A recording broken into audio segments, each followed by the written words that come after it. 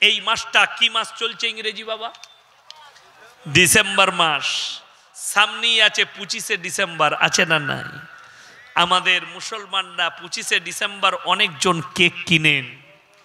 আমার ভাই, আপনারা উলামাদিকে ভালোবাসেন তো সকলে হাত তুলে বলুন ইনশাল্লাহ যদি আমাকে মহব্বত করেন, আল্লাহর রসুলকে মহব্বত করেন, পঁচিশে ডিসেম্বর কেক কেউ কিনবেন না। জোরে বলুন ইনশাল্লাহ আজকে কিনেন, কালকে কিনেলেন। কালকে কত?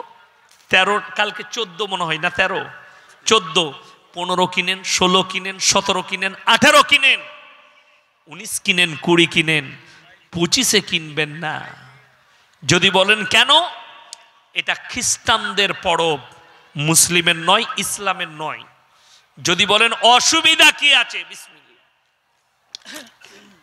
যারা শিক্ষিত যুবক তারা শুনেন, সামনে আবার ডিসেম্বর পেরিয়ে গেলেই পহেলা জানুয়ারিতে পা দিবে দিবে না দিবে না। তখন আবার মদের বোতল আর ফিস্টি চলে মুসলিম ছেলেদের। দারুণ! তাদেরকেও অনুরোধ করে যাচ্ছি, ইসলামে পহেলা জানুয়ারি নেই। দেখুন, ইসলামে যদি কিছু থাকতো, আমরা উলামারা বলে দিতাম, আরবি তারিখ প্রথম মাস হচ্ছে মাহাররমের মাস, ঠিক কি না? কথা বলে আচ্ছা পহেলা মহরম আমরা কেউ কিছু করি?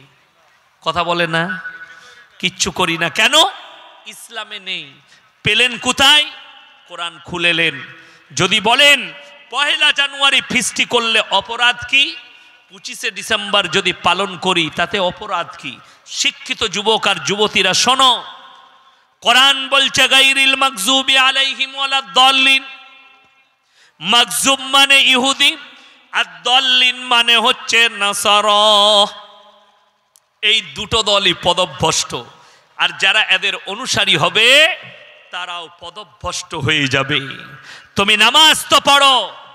আজকে তো বড় কষ্ট লাগে।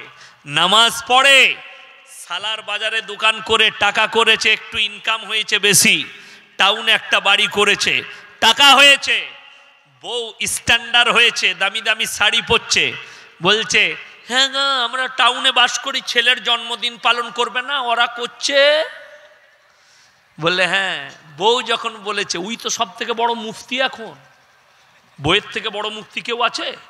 না, মায়েরাই হচ্ছে সব থেকে সমাজের বড় মুফতি, ওদের ফতুয়া মারাত্মক ফতুয়া।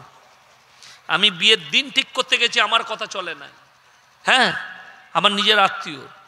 আমি বললাম, বাবা, ফাল্গুন মাসে প্রথম সপ্তাহে বিয়ে দিবে, তো শনিবার বিয়ে, রবিবার অলিমা, সোমবার মেয়ে জামাই নিয়ে আসবে।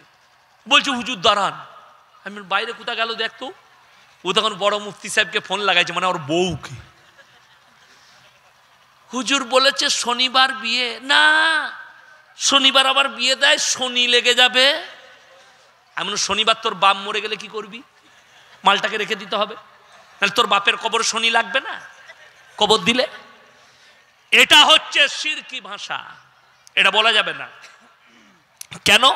আচ্ছা বলুন, ভালো মন্দের মালিককে আল্লাহ। তাহলে শনিবার বিয়ে দিলে কি করে শনি শনি লাগতে পারে? সে তো আল্লাহ মালিক। আচ্ছা আমি বললাম, আমার কথা চলল না, কি বার ঠিক করল? সোমবার বিয়ে, মঙ্গলবার, অলিমা। ঠিক করল, শনিবার দিলে হয়ে যাবে। এই তিন মাস হয়েছে। আমাকে ফোন করেছে, হুজুর, বিয়েটা ভেঙে গেলাম এরপর কি করে শনি লাগল বে? এ তো সোমবার করে এলি। এটা হচ্ছে কুদরতি মার। খালি অস্বীকার করার কারণে। আপনি হাদিসুন নিসাই চলবেন না, কোরআন আর হাদিসে চলবেন, মায়েদের হাদিসে চলবেন না, কোরআন আর হাদিসে চলবেন। আমার ভাই অনুরোধ করে যাচ্ছি। লাস্ট আমি আপনাদেরকে বলে যাব। কেয়ামতের দিনে শুনেলেন, পাঁচটা পাইগাম্বারের দলিল দিচ্ছি। কটা বললাম? পাঁচটা। যারা বলছে বিনা নামাজে, বিনা রোজায়, বিনা দিনদারিতে আমরা জান্নাতে নিয়ে যাব, তাদের জন্য পাঁচটা জান্নাতে, পাঁচটা নবীর দলিল দিচ্ছি, পাইগাম্বার। মানে রসুলের আমার বাপের নয়, কোনো বড় মলবির নয়, কোনো বুজুর্গর নয়, আমি যাদের দলিল দিচ্ছি, পাঁচজন পাইগাম্বার, পাঁচজন নবী, তাদের মধ্যে একজন হচ্ছেন হজরতে মোহাম্মদ মুস্তফা, সকলে বলুন সাল্লাহ আলি সাল্লাম, নিজের চাচাকে কলমা পড়াতে পারেননি।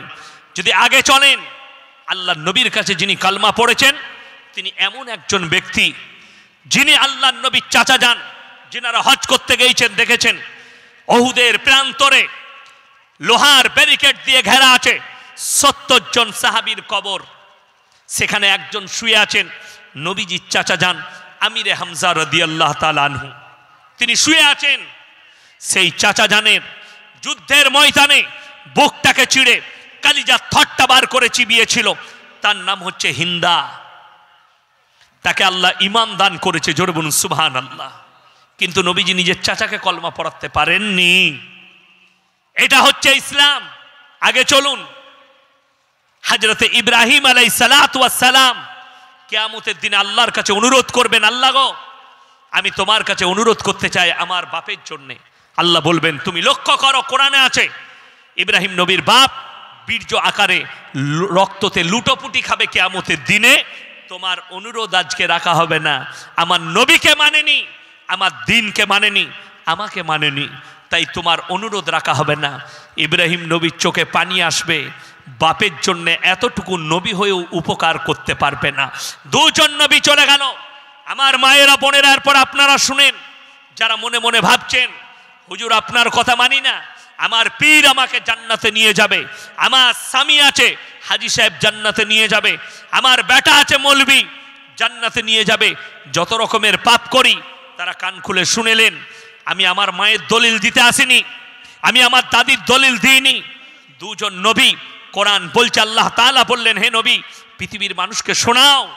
আমি কাদিকে জান্নাতে দুবার জাহান্নাম যাদের নামে লাকি টেনে দিয়েছি। দারাবাল্লাহু মাতালাল লিল্লাযীনা কাফারু ইমরাতা নূহি ওয়া ইমরাতা লুত। কানাতা তাহতা আবদাইনি মিন ইবাদিনা সালিহাইনি ফাকানাতাহুমা ফালাম ইউগনিয়ানহুমা মিনাল্লাহি শাইয়্যা ওয়াকিলাত খুলান নার আমার দাখিলিন। আমার দুজন উলুল আজম নবী হাবি পাইগাম্বার, নুহ নবী আল্লুত নবী, দুজনের বিবিকে জাহান্নামে দেব। তারা আটকাতে পারবে না। আল্লাহ কোরআনে লাকির টেনে দিলেন, নোহ নবী আর লুত নবী, এই দুজনের বিবি জাহান নামে প্রবেশ করবে, তারা স্বামীরা নবী হওয়ার পরেও আটকাতে পারবে না।